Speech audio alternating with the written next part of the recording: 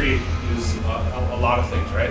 It can be uh, you can be on the positive side, you can be on the, on the negative side, but it's all all comes to have somebody remember it. Okay, what's your legacy going to be? Okay, what's what's this individual team? Doesn't matter what we did last year. We've got confidence from last year, but that means nothing if we don't go out and prove who we are today. Okay, it takes a lot. Okay, it takes a lot to become triumphant. Okay, put yourself in that position, and, and uh, when we're done, take a second to make sure that you're in the right frame of mind to go out there and do everything you can for your team. So work together, work hard, and work smart, and go out and them. Okay? So.